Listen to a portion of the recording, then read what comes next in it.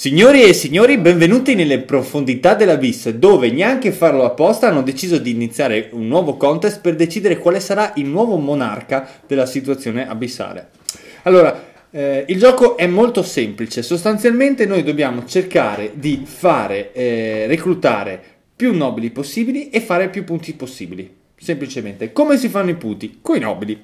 Eh, allora, il tabellone, come potete vedere, è diviso in tre aree. Abbiamo l'area di ricerca appunto dei nostri alleati, l'area del consiglio, quindi la zona politica della situazione, e l'area dove possiamo, la corte, dove eh, noi possiamo appunto acquistare i nostri nobili. Allora, praticamente inizio partita, noi eh, facciamo un setup di questo tipo dove appunto piazziamo i nobili in questo ordine. Man mano che noi compriamo i nobili, questi andranno avanti semplicemente.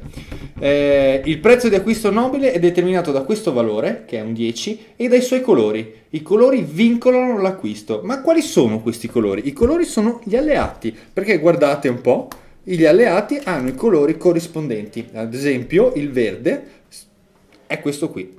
Per comprare questa carta mi ci vorranno 6 punti, questo ne ha solo 5, un verde e due carte di altri due colori diversi da me scelti. Ad esempio potrei mettere il viola o...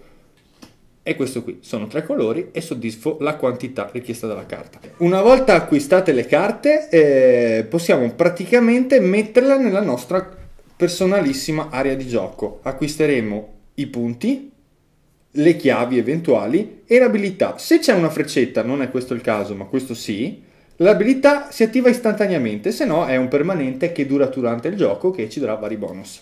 Vale la pena spendere due parole per la parte di acquisto degli alleati, che è molto importante. Allora, io questa carta la metto in gioco durante il mio turno, spendendo un'azione. Subito dopo il giocatore può fare un'offerta di 1 e così a seguire. Se nessuno prende la carta, io posso intascarmi la carta o in alternativa posso andare avanti. Questa carta però ha un costo di offerta che vale a 2. Stesso discorso e si va avanti.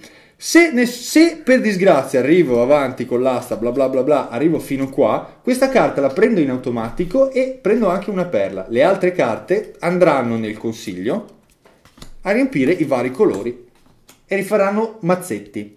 Come azione posso anche prendere un mazzetto. Cosa molto importante da dire sono uh, queste eh, tabelline qua che si possono attivare spendendo fino a tre chiavi. Le chiavi, come abbiamo visto, si possono prendere dal monitor oppure combattendo contro dei mostri oceanici, ma questa è una cosa più, più dettagliata. Veramente un bel tentativo quello di Català per questo Abyss. Um, ha, tirato fuori un bel giochino di, di, carte. Nulla che faccia gridare al miracolo, in verità, eh, nulla di particolarmente originale. Uh, partendo dalle meccaniche, di fatti ritroviamo, se lo ricordiamo, insomma, il, la condizione di fine uh, partita che ritroviamo anche in Citadels, ad esempio, parlando dei, di uno dei più noti dello stesso autore. Uh, anche qui, come per gli edifici di Citadels, vanno collezionati sette nobili per sancire la fine della, della partita. Ed i nobili, anche in questo caso, forniscono buona parte dei punti vittoria che servono al giocatore. Sempre a proposito delle meccaniche, nulla di particolarmente innovativo anche per quanto riguarda il, gio- il cuore del gioco, l'azione eh, principale a disposizione del giocatore, cioè eh, la soldare alleati. Eh, in questo caso troviamo, ritroviamo eh, quella sorta di asta eh, che possiamo ricordare anche in Goa, quindi eh, chi è di turno mette a disposizione una carta e per tutti i giocatori e quindi in un unico giro di asta è possibile um, accaparrarsela e chiude chi, chiude il giro chi è di mano e in questo caso ottiene la carta gratuitamente quindi non c'è più lo sconto. Insomma meccaniche in, in qualche modo già viste però uh, l'aspetto veramente positivo è la confezione nella quale il tutto è stato riso. Mi spiego. Um, mi fa storcere da un lato il fatto che siano uh, di, a disposizione in commercio uh, 5 copertine possibili per questo titolo. È una cosa che lascia un pochino il tempo che trova, insomma, quindi a seconda del faccione che volete rappresentato sulla copertina è possibile acquistare la, la scatola relativa. È un aspetto che mi, appunto, mi fa storcere il naso da un punto di vista commerciale, però non influisce sul mio giudizio complessivo. Quello che invece influisce positivamente è come il tutto è stato reso, e cioè l'ambientazione può anche essere abbastanza debole, però la componentistica è così ben fatta da rendere Abyss immersivo. Mm, può sembrare un aggettivo ironico, insomma, riferito ad Abyss, però mi dà questa sensazione nelle più partite che ho fatto. Um, il tutto è reso così bene, quindi eh, tabellone con uh, toni uh, scuri, uh, rap- i personaggi rappresentati sulle carte, i nobili in particolare, ma anche gli alleati nei loro colori ben distinguibili, quindi funziona il gioco, sono fatti veramente in maniera superba. E durante la partita appunto rendono comunque evidente questa atmosfera dark che mi fa dimenticare anche il fatto che sia un gioco fondamentalmente astratto, è un gioco di carte, ripeto, di collezione set, eh, che non ha nulla di innovativo appunto dal, dal, punto di vista delle meccaniche, però ecco, si fa apprezzare proprio per l'atmosfera che riesce a ricreare, che, di cui ho goduto nelle due o tre partite che ho sulle spalle. Quindi, in definitiva, Abyss tira fuori dal mio gusto personale un 7. PS chiedo tantissime scuse a Bruno Català e anche a Bruno Faidutti, a cui devo rendere merito del fatto che sia l'autore di Citadels, quindi Citadels e di Faidutti, ma quindi non di Català. Resta il fatto che la condizione di fine partita è la stessa, sono entrambi francesi e quindi ho ragione. Allora, eh, che dire, questo Abyss ha avuto eh, prima della sua uscita una grandissima operazione di marketing filmati, pubblicità, eh, questa grafica spaziale perché eh, è veramente tanta cosa. Eh, cioè, è stato fatto un gran lavoro sotto, eh, anche le cinque scatole diverse l'una dall'altra. Una grande operazione, devo dire, questo gioco. E la domanda fondamentale è, certo, l'occhio è stato accontentato e tutto il resto? Beh, eh, ero partito un po' col freno a mano su questo gioco, anche se c'erano molte attese. Però devo dire che le meccaniche, tutto sommato, che eh, sostengono tutto quanto, eh, sono state apprezzate almeno dal mio punto di vista. Perché? Perché tutto sommato mh, mm, il gioco non è niente di incredibile, eh, si tratta di un qualcosa poco al di sopra di un filler, però eh, è stato fatto tutto abbastanza bene. Soprattutto è interessante la, eh, la parte in cui avviene la scelta eh, degli alleati, dove si deve prima contrattare con gli avversari e, ed eventualmente poi tenersi una delle carte, oppure eh, cedere e quindi proseguire nella scelta per poi lasciare che gli alleati che sono rimasti nella parte alta finiscano nei mazzetti sottostanti e quindi concedendo qualcosa a chi viene dopo di voi, fondamentalmente se il mazzo comincia a essere eh, interessante da acquisire. Ecco, mi piace questa meccanica di dover eh, scegliere per poi eventualmente cedere a qualcun altro parte di. Ben fatta. Eh, bella, interessante anche la parte di acquisizione dei nobili, che non è niente di eh, innovativo rispetto ad altro. Però mi piace il discorso dei di poteri che eh, possono essere utilizzati fin tanto che non siamo vincolati a prendere un territorio da ehm, sovrapporre a, a quanto è scritto sulle carte. Quindi una serie di limitazioni che però non sento così ehm, vincolanti o oppressive. Ehm, ti viene rimosso un vantaggio per comunque averne un altro per far punti a fine partita. In soldoni, un prodotto ben confezionato, ben realizzato, graficamente non c'è nulla da dire, è fatto più che bene. Eh, un'operazione di marketing con i fiocchi, che su questo no, no, non possiamo eh, dire assolutamente nulla da questo punto di vista, ma che comunque eh, porta sul mercato comunque un gioco che si fa apprezzare, per cui possiamo tranquillamente dargli un 7,5 e, e andiamo negli abissi. Che dire di Abyss?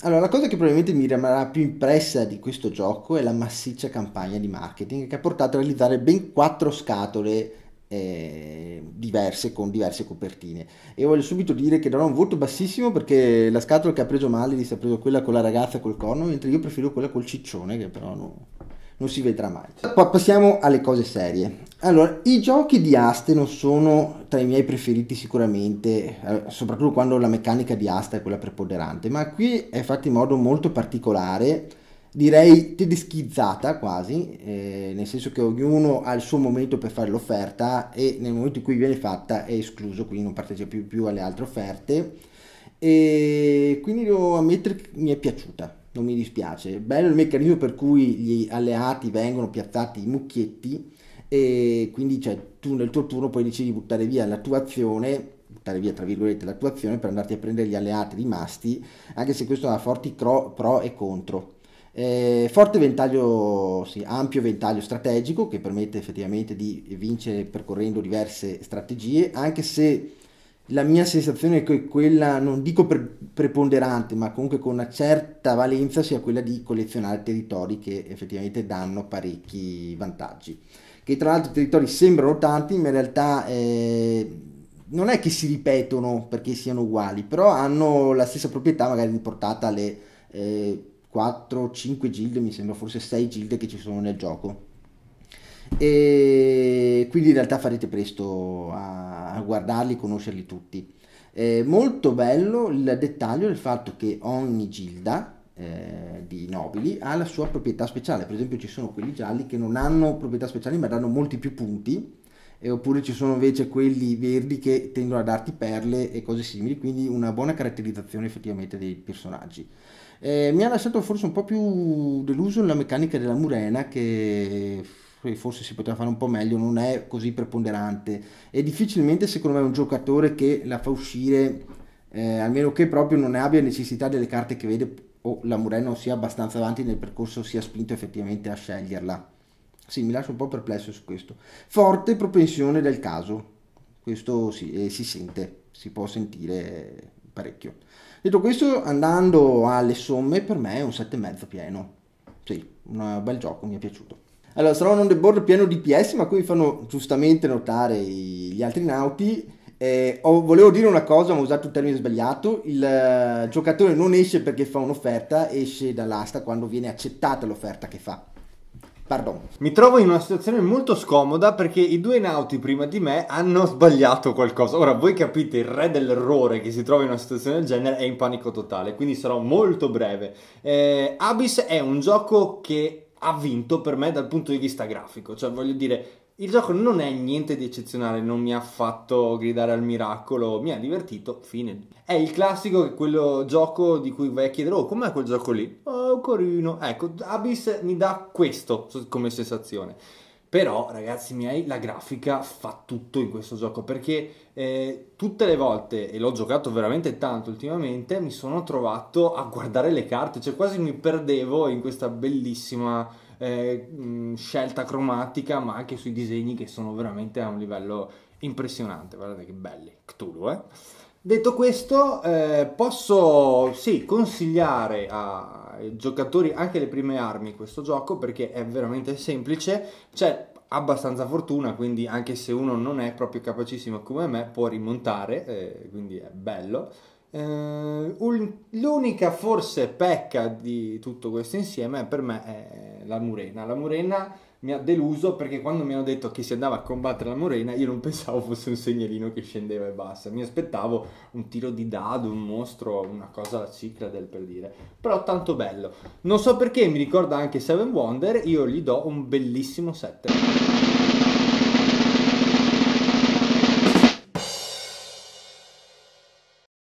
posso decidere di intascarmi la carta? No? Sì